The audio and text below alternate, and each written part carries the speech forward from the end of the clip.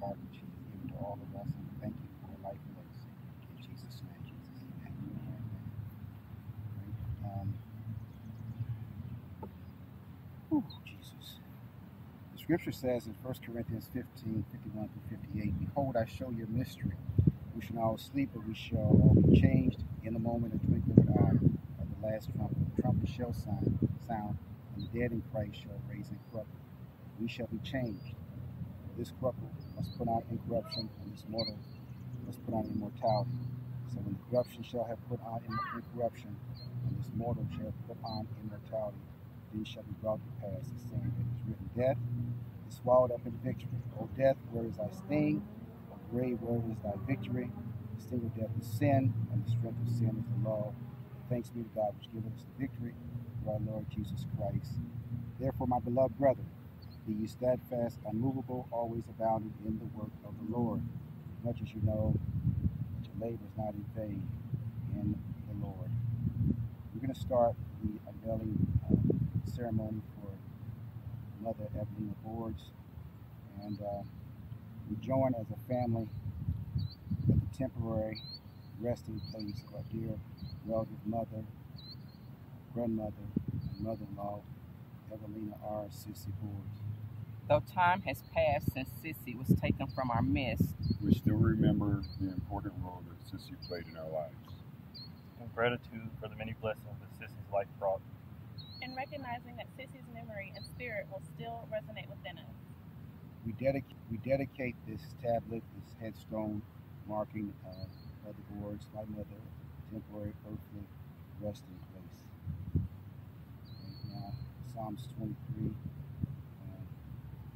we can quote that the Lord is my shepherd, I shall not want. He maketh me to lie down in green pastures.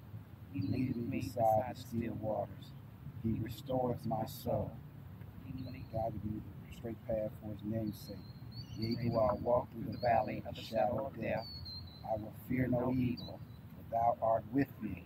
Thy rod and thy staff, they comfort me. Thou preparest a table before me in the presence of my enemies. Thou hast anointed my head with oil. My cup runneth over.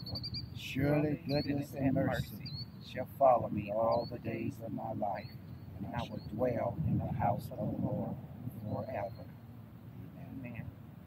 In recognition of all that Mother Evelina Sister Boards meant to us when she was alive, precious memories that we treasure, we dedicate this headstone to her memory as a symbol of our love and respect and honor of her life and for her legacy.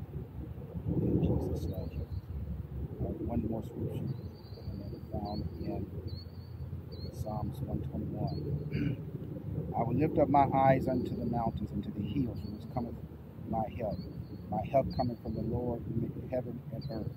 He will not suffer thy foot to be moved. He that keepeth thee will not slumber. Behold, he that keepeth Israel, neither slumber nor sleep. The Lord is thy keeper. The Lord is thy shade upon thy right hand. The sun shall not smite thee by day, nor the moon by night. The Lord shall keep thee from all evil. He shall keep thy soul. The Lord shall guard thy going out and thy coming in this time forth and forever. In Jesus' name. Amen. So this concludes our services dedicating this headstone to our beloved mother, grandmother, and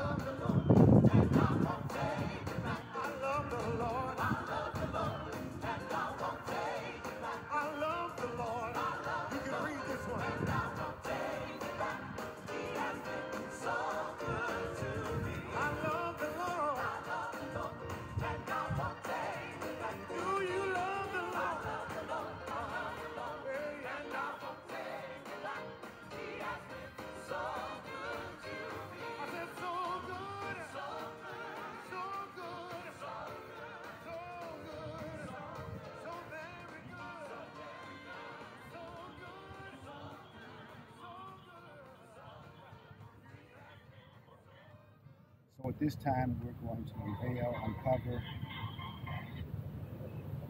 headstone that's been dedicated in honor of the boards. And uh, this will serve this generation, generations to come, as a memorial to her life, legacy. Sure, Mr. Sure, you'll see a picture of great, great, great, great, great grandmother that she lived and she was graced to have time here on this earth for 82 years. And so the story hopefully told down through the years and all the memories that we shared with her that we can pass those down to generations to come. That as they go by, think of different things about her. Sometimes you laugh, sometimes you cry, sometimes you wonder where is she. And have all kinds of mixed emotions. We know the Bible says the absent from the body is in the present. So this time, I'm going